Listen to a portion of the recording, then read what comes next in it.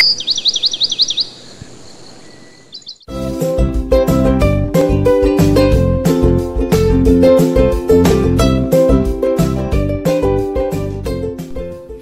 guys, so today is the second day of the 25 days push-up challenge.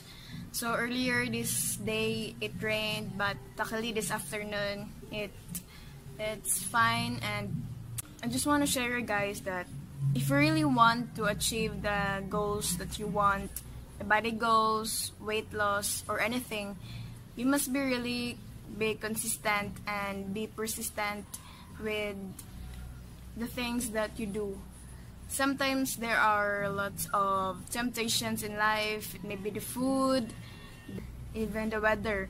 It's like rain or shine, you will risk everything and you will you will do whatever it takes. Just like that. So today I will be nominating my friend Angel Naya. I know you can do this because I believe in your strength and your capabilities and I hope that you will make this as an opportunity to transform your body goals as well. So let's start!